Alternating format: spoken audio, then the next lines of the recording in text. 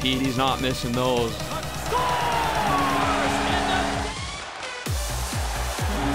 I have no problem beating a guy 19 nothing. If you're not going to practice and do the work, like don't even sign up. You know?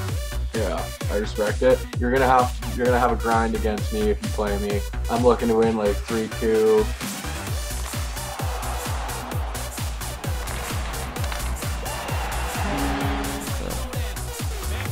Oh, tough turnover. Fine with this. I'm fine with this. Brandon Sutter.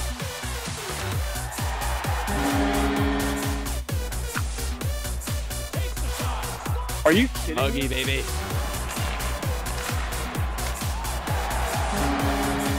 And there's the final horn. What a performance. They were on this series. They were detailed. They laid out a plan and they followed it as tightly as they could.